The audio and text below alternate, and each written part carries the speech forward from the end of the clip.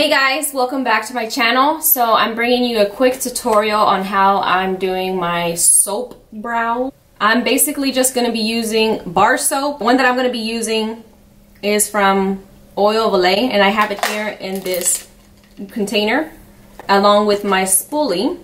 So those are the only two products that you're going to be needing. Oh, well, a water bottle too. Let me go get that. See, I hardly have any. I'm going to zoom you guys in and show you how it looks on one brow. So for starters, everyone's eyebrow hairs grow differently. Mine's grow down and others grow up. So the first thing we're gonna do is wet the spoolie. Then we're going to go back and forth in here. I'm gonna really pack it on because my eyebrow hairs are thin. Okay, so I got quite a bit of product on the spoolie. And now I'm going to start to... Really, Camila?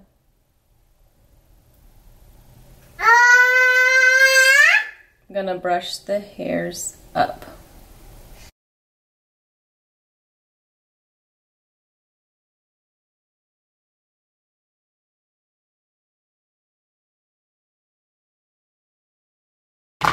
Now pick up a little bit more. Again, wet the spoolie. Thick. That's much better. Okay. So once we have that down, so that's what it looks like with just soap on it. Okay, compared to this one. Right. Now I'm going to go in with a little bit of my foundation. Any foundation, really. I'm using my, one similar to my skin tone. I'm using the one by NARS. And this is in Barcelona. And I'm going to use a flat brush. I'm going to carve out under the brow before, this is what I'm doing before adding on any product to fill it in. You're gonna see a big difference just doing this alone.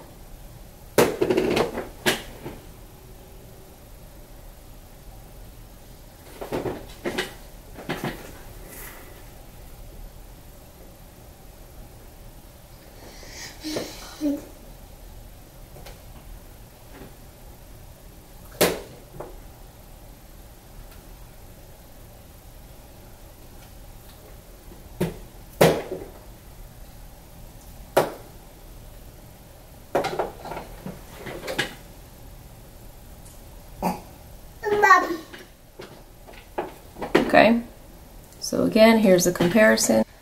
It's the same old, same old products that I've always used. This is the Ben Nye Media Pro Eye Definer in the shade Espresso. I'm picking that up on a angled liner brush. This is an old brush that I have from TNT Cosmetics, but just any liner brush that's angled with a point to it will really help. And what I do is I really pinch the tips of it once I apply, once I load it up with product. So just go in here, load it up, take a paper towel, and I pinch the tips together to make it flat like that. Okay, and then the pointed side is the side that I'm going to face down. And I'm going to start to flick and do hair-like strokes.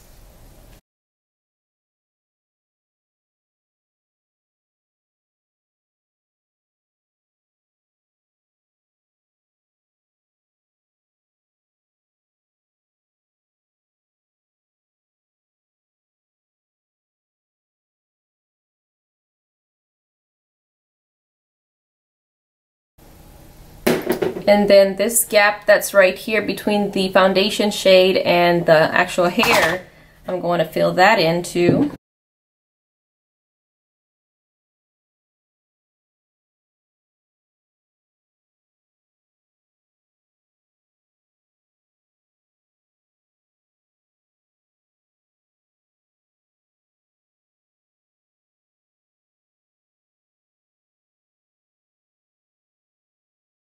Not gonna go on top and, and draw a line. I don't like the way that looks.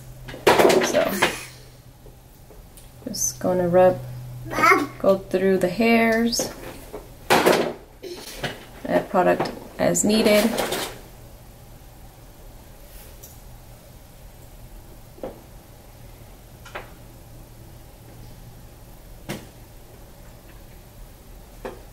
with a little bit more product apply a little bit more pressure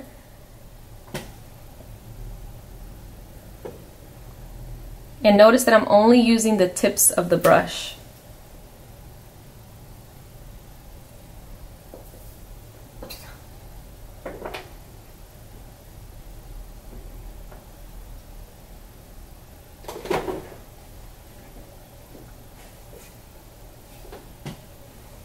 like that. So this is what we're looking at from far away. And I see this little gap right in here, so I'm going to fill that in a little bit.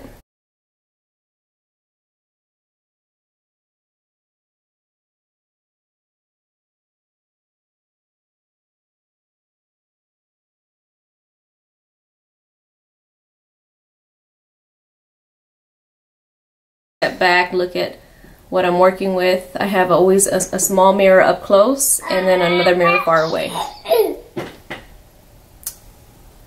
So.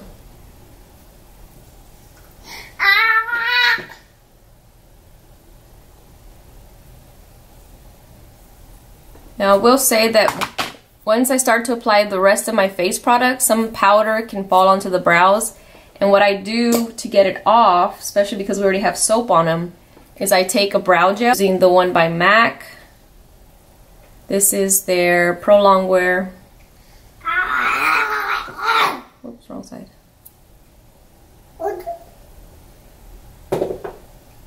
This is in the shade Quiet Brunette.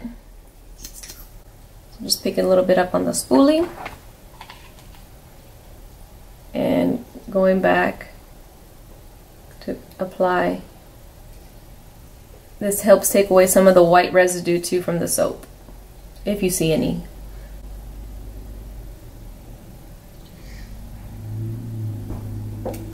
And bam. Wham and wham bam. So just for a little bit, just because we want to be a little extra, I'm going to go back in with a little bit of that foundation. I just put some on the back of my hand. And the flat brush. And I'm going to go under that brow again just to clean it up a little bit more, especially at the tips. I mean at the beginning of the brow.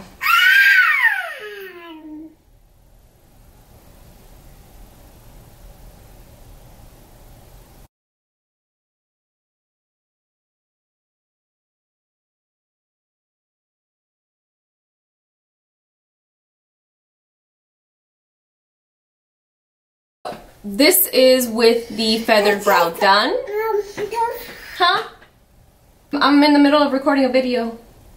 Thank you. This is with one feathered brow done and... Yes? You want to be in my video? Okay, come here. Did you like it? Do you like my eyebrow? Which one do you like better? This one or this one? Which one you like? Thank you guys for watching. ¡Mua! Aviénteles un beso. ¡Yay!